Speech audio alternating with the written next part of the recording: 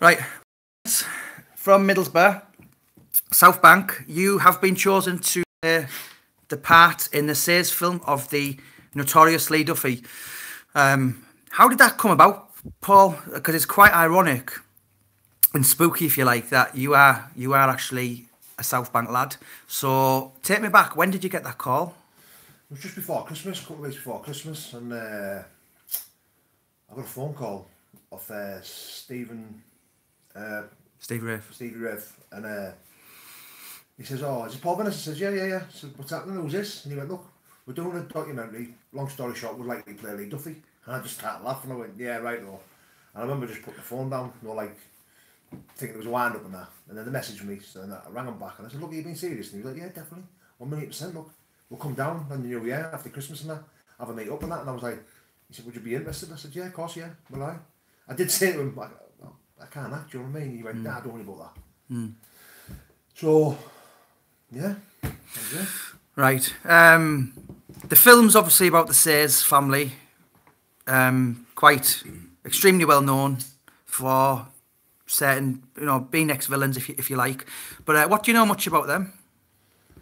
Well, no, I first heard of the Sayers when, obviously, with all the stories of Lee that he used to hear growing up and that, and I used to know Lee was, was friends with him, you know, and uh, the more you delved into the stories with Lee, the more they come in, the more you found out about the Sayers. So, yeah, well, when we growing up, you know, listening to the stories with Lee and being obsessed the way I was with Lee, you, you become more aware of what the Sayers were, you know. So, yeah, was- You actually met him when you were a kid, didn't you?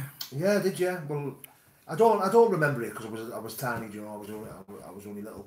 But uh, obviously, with my mum being close with him, well, not close, close with his sister, but my mum knew him, knew him. They were, I was in a pram and they had a, like an aeroplane coat on, like Flying the- jacket. Yeah, the flying jackets with the big white collars.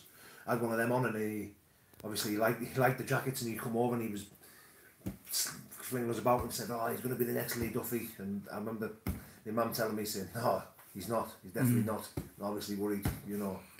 But uh, yeah, But you grew up in, in the South Bank estate and you still live there today. So, yeah. So you you must have heard some unbelievable stories that are now embedded in Teesside folklore Oh, yeah. forever. Yeah.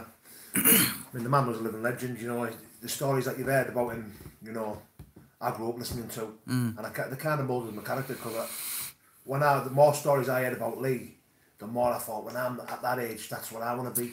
That's what I want to be like. you Yeah. know. For I mean, I know people are aware now and I think, well, Paul Venis is going to play play Lee Duffy. But can you tell me a little bit about your past? Because obviously people watching this won't realise when you say, well, I want to be the next Lee Duffy. It's fair to say, Paul, that you had a bit of a shady past yourself growing up. And yeah, what, did, yeah. what was that like? Well, uh, you know, as a, as a young child, you know, I was picked on as well. I was bullied on. I was I was picked on. I was overweight. I had two different coloured eyes, and you know, um, I was ginger. But as I got older, 14, 15, 16 year old, I started realising, you know, what I was capable of, and listening to these stories about Lee and become more aware of what type of guy he was. You know, I thought it molded my character into think, you know what, I'm going to be like this man. You know, and it, it got to the point where I was 15, 16 year old walking to the, to a different school, walking to schools, walking to places, walking into a group of lads, asking who the who the hardest man was, who the hardest lad was, you know, and have it out straight away there and then. You know, and I made a, diff- a a name for myself. I made my own reputation, you know. And uh, it kind of got the better of me, this reputation, because you, start you start to think that you're untouchable and this, that, the other, you know, you, you, do, you, start doing a bit of taxing, you're looking at the drug dealers doing all that stuff, you know. Before you know I, de- I developed addiction to drugs, you know, an obsession to change the way I felt, you know, and it was all like living up to this reputation, having the fear and and, and, and the hype and the pressure, all this stuff, and you sometimes you try to look for a way out, out, out, out to suppress all this pressure, and I found it with drugs and stuff, you know, and uh, It, it led you to go to prison, didn't it? yeah, it did yeah, uh, it led, it led me to getting involved with some bad people and doing bad stuff to bad people, but my dog got, long story short, I ended up in some gun crime, my dog got shot off and my windows and stuff, and then before you know it, I armed myself, and uh, I ended up getting caught with this gun and, and went to prison, yeah, and got a, got a decent prison sentence. Right, So- but I know that the directors, Gary Fraser and um, Steve Wraith and Stephen Sayers, said that we wouldn't pick an actor to play a fighter, so that's why they picked you. So a lot of people probably won't realise, but you were actually a boxer, a kickboxer of like a huge. Yeah, well, before I went to prison, I was, when I was in that lifestyle, I was dabbling in uh, in unlicensed boxing, bit of bare knuckle and stuff, you know, and I was pretty good at it. And uh, but when I went to prison, it cut that, that career short, that the boxing career short.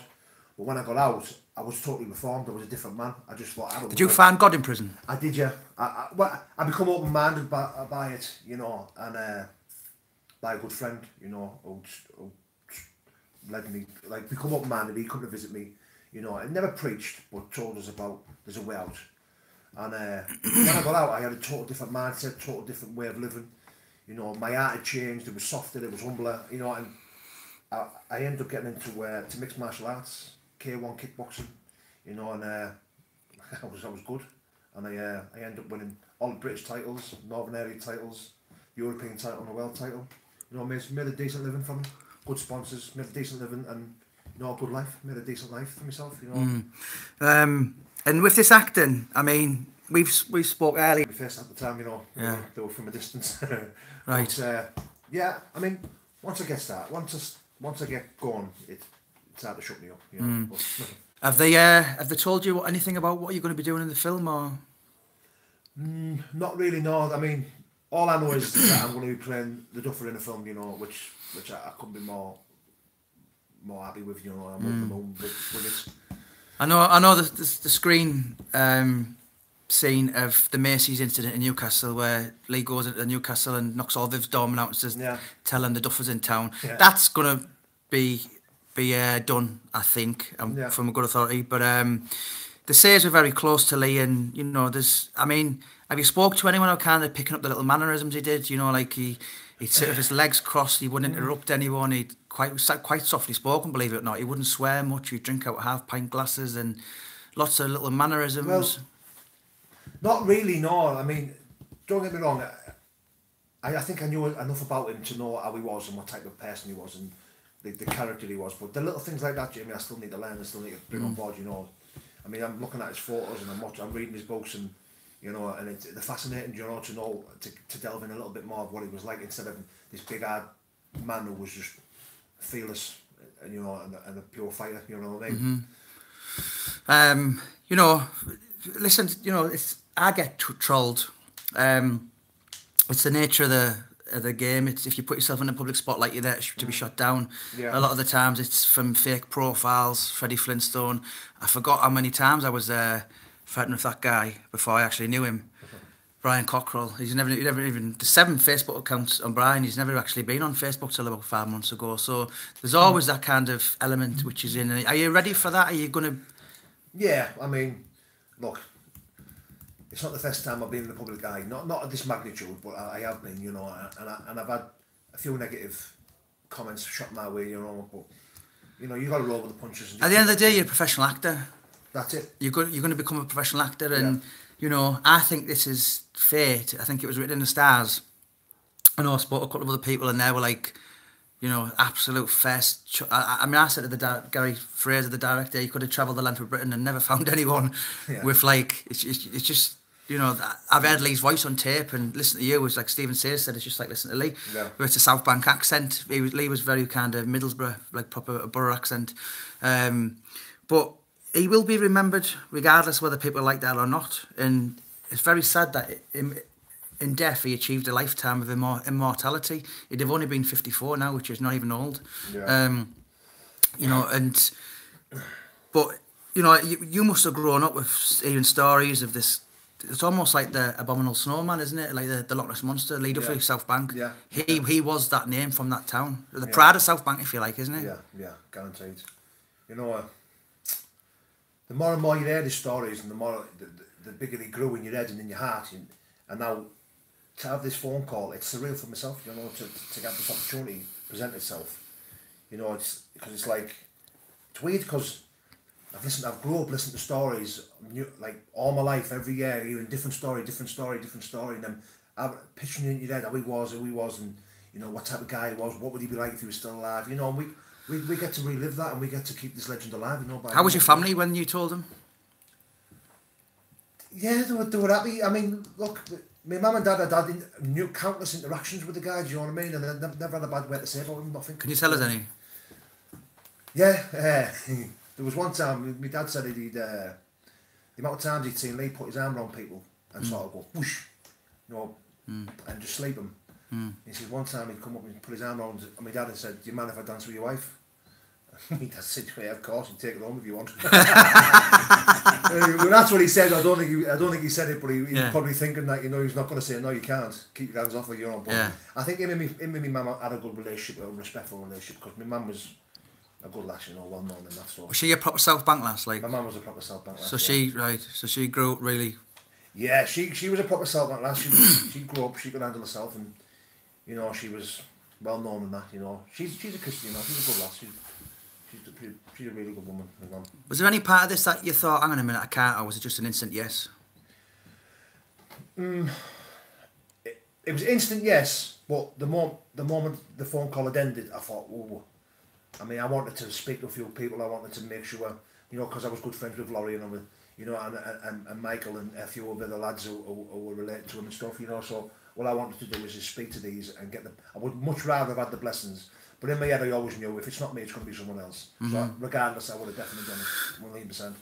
Right. Opportunity, you can't, you can't, you can't let go, you know. Yeah. So now, basically, for the rest of the year, I mean, I know the trailer's going to be made in March. Steve Wraith tells me. Mm.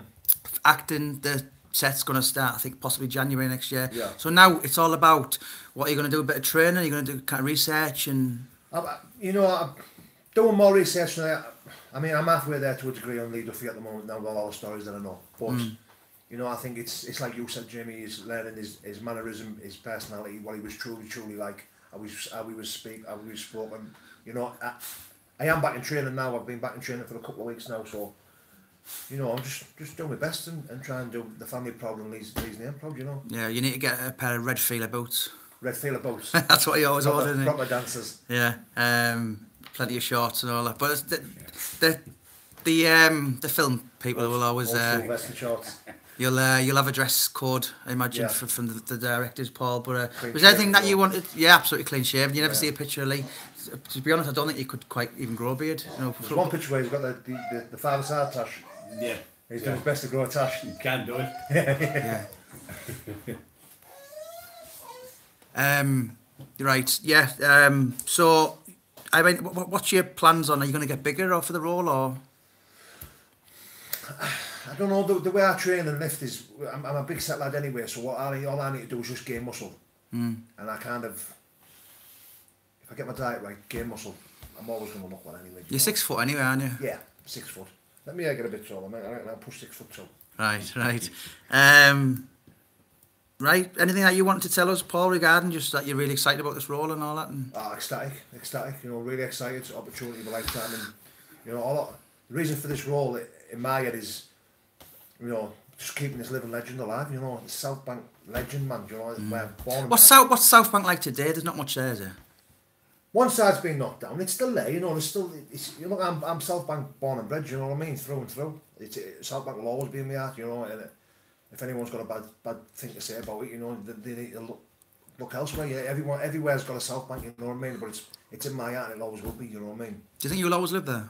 Yeah. Yeah, I mean, no rush to, to leave. Mm. I love it. I love the place. But many years ago, people say before Asda, there was a football ground there. There was like nightclubs. There was It's on my back garden, like the football, the, the foot, where the old football club is called the Wolf Mannion. It's a, it's like a, it's like a community centre now. Wolf, Wilf, on Wil- my Wilf back garden. Mannion, Middlesbrough's greatest ever footballer, Yeah, from yeah. South Bank. Paul Daniels was from South Bank, the magician, wasn't he? Yeah, there was rumours that I was going to be the next Wolf Mannion.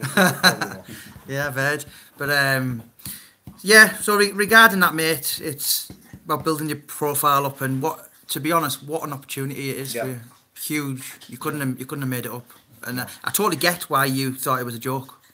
Do you know what I mean? So. yeah. No, so um, yeah, no, thanks. So, and uh, before we go, Paul, give us the catchphrase. Oi, oi, now then, now then. Perfect. Well done, son. Well done. Right, cheers, bye. I used to walk, still like the street that walk like springing. Like a spring in his walk, you know, some people bounce and Yeah. like, like, like walk. Never seen him walk heavy, it was always, you know, get bodybuilders walk heavy to big and tough. Spring. Like, now and then, now and then. It was like, like that. Right, right, now right. then. Like that, and I was- that was his favourite thing. I was sat last night because my mum, my mum grew up with me as a kid and all that. Yeah. And my dad obviously always like have a like a lean to the side with his mouth open Yeah, all the yeah, time. always- always and he said, would make you go, Yeah. do you know what I mean? Drag you down this. yeah, so he, yeah. he said he was language. he, he said yeah. he, he wasn't he was a clever man because the way he would do it he would come up with you and he would sort of like lean in and like come at, so you would you would know he was going to be alright with you but you'd still have that fear Yeah, in case he wasn't Yeah. do you know what I'm saying and that would That's just be his best order with him. And then when I got friends with him, I was like, keep your